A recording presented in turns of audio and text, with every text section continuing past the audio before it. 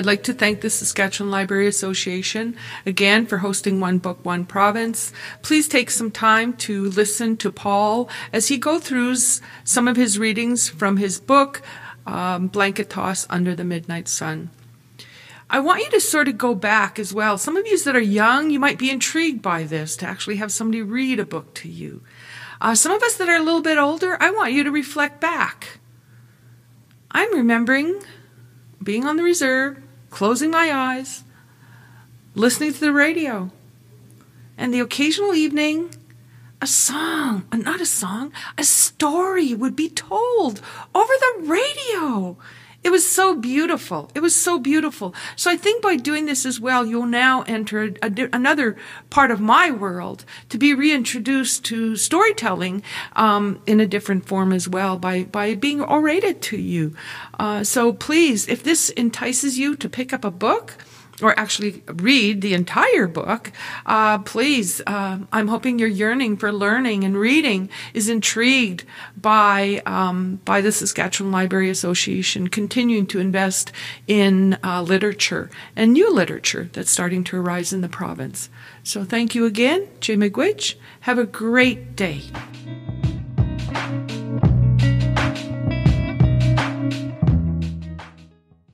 Hello, Tansi.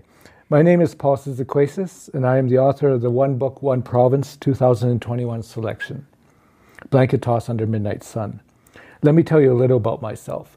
I'm from, my family's from Beardy's Okemasis, which is uh, First Nation about 45 minute drive north of Saskatoon. Uh, I've lived in Saskatchewan most of my life. Uh, on and off, I've traveled, of course, but my family and my roots are here. Um, my mum was one of the first registered nurses, Indigenous registered nurses in the province of Saskatchewan, and was always an inspiration for me. Um, I've also worked as a writer, uh, curator, uh, archivist, self taught archivist uh, of Indigenous images and photographs. One Book, One Province aims to increase literacy and to create a reading culture by providing opportunities for residents to become more socially engaged in their community through a shared story. One Book, One Province encourages Saskatchewan's social, economic, and cultural development while supporting libraries and collaboration. In that spirit, I hope that you will enjoy this reading and be encouraged to visit our, your local library or independent bookstore to borrow or buy or read more. The Saskatchewan Library Association would like to thank Sask Lotteries, who provide funding to Sask Culture, and in turn, the Saskatchewan Library Association.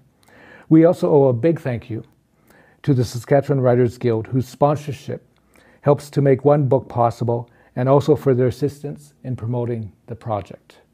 The Saskatchewan Library Association's work and support reaches lands covered by Treaties 2, 4, 5, 6, 8, and 10, and the traditional lands of the Cree, Dakota, Dene, Lakota, Nakota, and Saulteaux peoples, and homeland of the Métis. In 1951, anthropologist Catherine McClellan, known simply as Katie to many of the locals, took the photo of then 14 year old Emma Alfred holding a beaver foot purse that her mother had just made for her.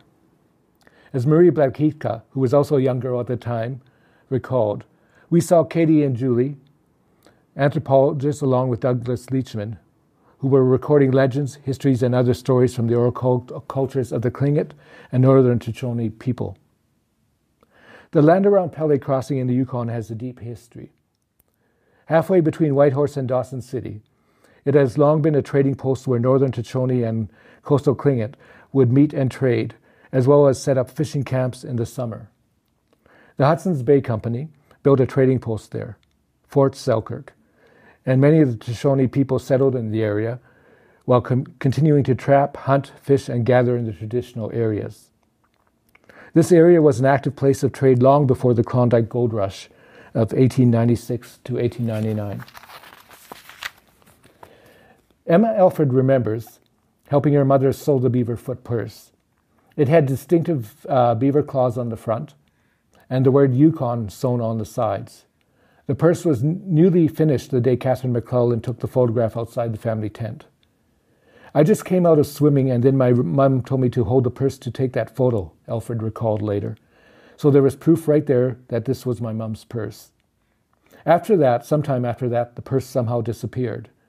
Alfred knew it had been sold, but there was no record of who the buyer was or where it might have ended up. Alfred assumed she would never see it again and that it was in someone's personal collection, a museum, maybe packed away in some garage. It could be almost anywhere in the world. Employed as a support worker for the Selkirk First Nation, Alfred was among a delegation of elders from the Yukon who visited the Canadian Museum of History in Ottawa in 2015, funded by the Yukon Community Development Fund. They were there to identify artifacts from the region and possibly begin the act of repatriation that would one day bring some of the objects home to, the dis- to be displayed within their own nations.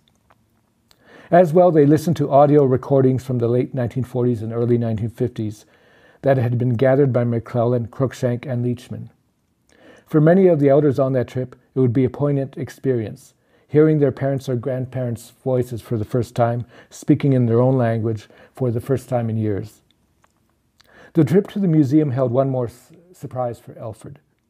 As the elders were shown the artifacts from the region, she saw, for the first time in over 60 years, the purse, that purse, that she and her mum had lovingly made.